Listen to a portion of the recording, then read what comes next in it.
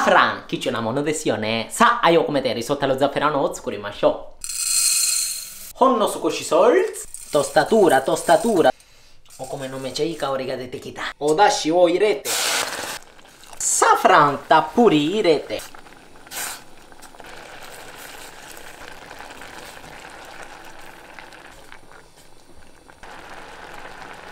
湯を消して、蓋して、1分後、 蓋を外して、お酢入れて、バター入れて、うまに。軽く混ぜて、